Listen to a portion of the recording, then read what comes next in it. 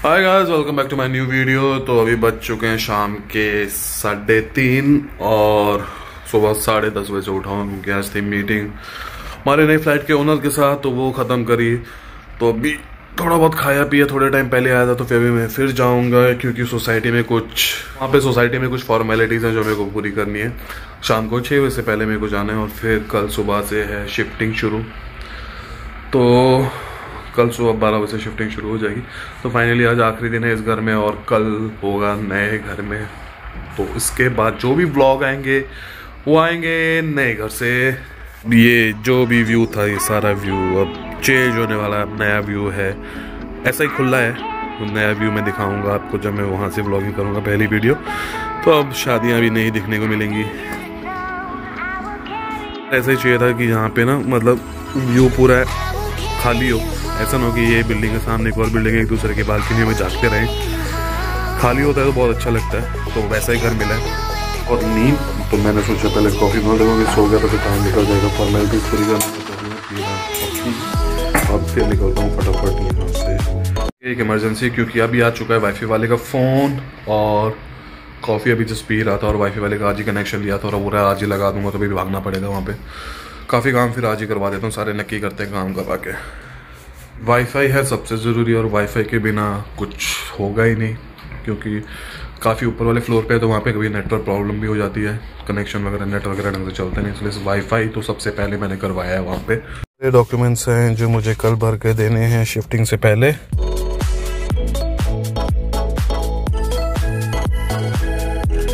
सारे डॉक्यूमेंट्स जो मुझे करने हैं जमा अभी सेल्स ऑफ़िस में। और वेट कर रहा हूँ। बंदा आए करे तो सब क्लियर हो आगे जाने के लिए। ये है घर की शिफ्टिंग कुछ पैक हो चुका है पैकर्स और मूवर्स के लिए। ये बेड वगैरह लग चुके हैं ये टीवी जाएगा गाड़ी में, पर्दे उतारने। और ये सब यहाँ से तो सब क्लियर हो चुका है। वो छोड़ के जाना है। ये सब क्लियर हो चुका है, बाकी देखते हैं थोड़ी देर में। हाँ guys welcome back to my new blog so अभी मैं ब्लॉगिंग कर रहा हूँ अपने नए घर से, और ये पीछे का व्यू है, जो नए घर का है, ढंग से दिखाता हूँ मैं भी आपको।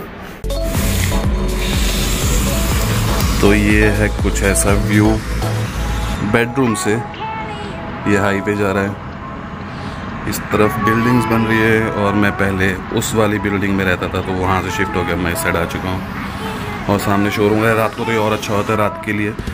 अलग से मैं वीडियो बना के डालूँगा। रात को तो बहुत ज़्यादा वो लगता है लाइटिंग वगैरह के साथ। तो ये अभी फ़िलहाल मौसम बादल हो रखे हैं। ये है वॉशरूम इसकी टाइल्स बहुत सेक्सी है ग्रे कलर और अभी सामान सेट नहीं हुआ, ये पड़ा है सामान। कल किचन थोड़ा बहुत सेट किया था फ्रिज लगा दी थी और ये सारा ऐसे ही अभी फ़िलहाल। ये सारा करना है, ये कचड़ा अभी पता नहीं कहाँ फेंकते, कहाँ नहीं फेंकते। ये पुराने घर की हमारी पर्दे की रोड है, यहाँ पे तो क्योंकि लगी हुई थी तो ये भी उठा के लिए वहाँ शू रैक लगा दिया है। और यहाँ से भी ये व्यू है बालकनी से। पूरा बहुत ही अच्छा व्यू है, पूरे फ्रंट का।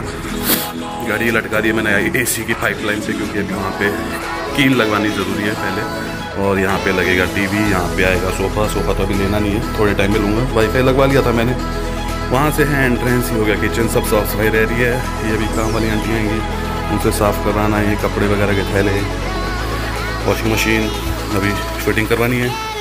और ये है दूसरा रूम जो फ़िलहाल एक स्टोर रूम ही यूज़ करूँगा मैं, क्योंकि यहाँ पे कोई रहने वाला है नहीं और ये कार्टन्स वगैरह पड़े हैं। और ये वाली अलमीरा जो मैं यूज़ करूँगा, इसको करना।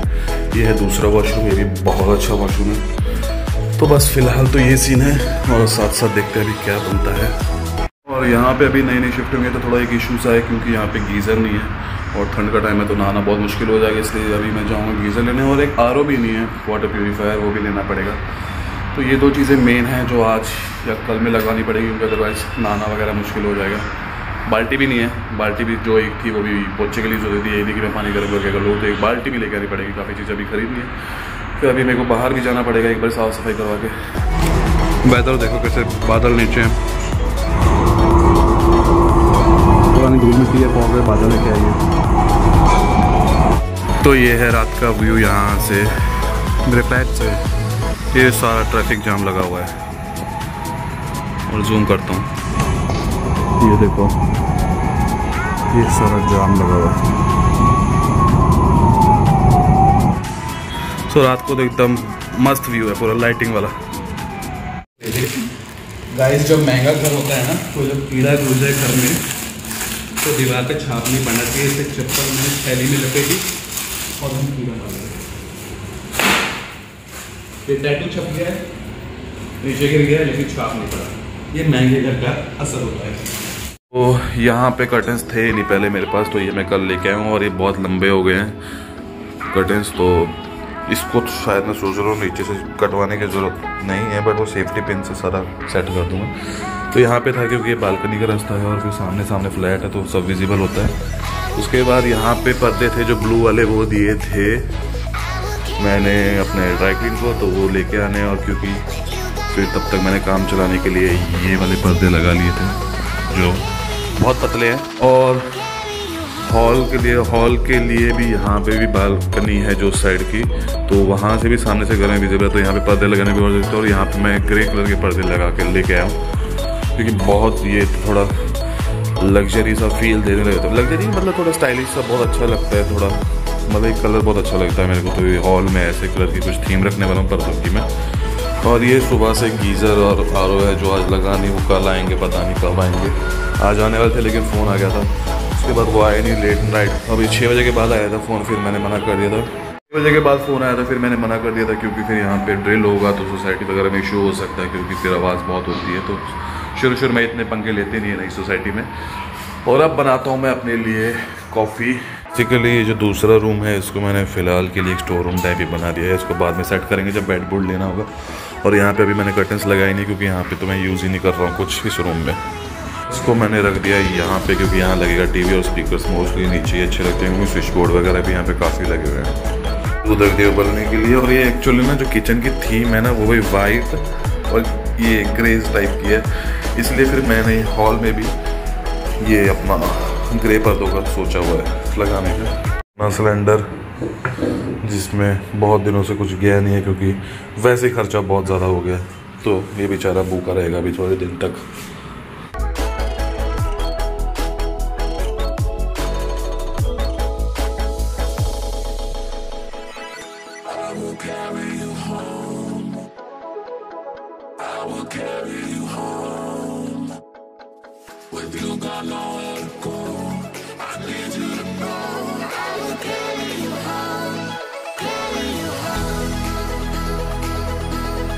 तो ब्लू पर्दे रखने का मेन रीज़न ये है कि मेरा जो बेड है वो भी ब्लू है तो उसी के साथ मैचिंग ये ब्लू वाले कर्टन्स यहाँ पे लगाऊँगा मैं तो यहाँ पे पूरी ब्लू थीम हो जाएगी रूम की। सो so, अब बज चुके हैं रात के आठ, और मैं अभी जा रहा हूँ पर्दे लेने, क्योंकि पर्दे लगाने हैं ड्राई क्लीन के लिए। दो दिन का उनको टाइम लगना था, क्योंकि मौसम थोड़ा बादल वगैरह था स्मेल वगैरह रहती इसलिए उन्होंने बोला कि दो दिन बाद ही आके लेना।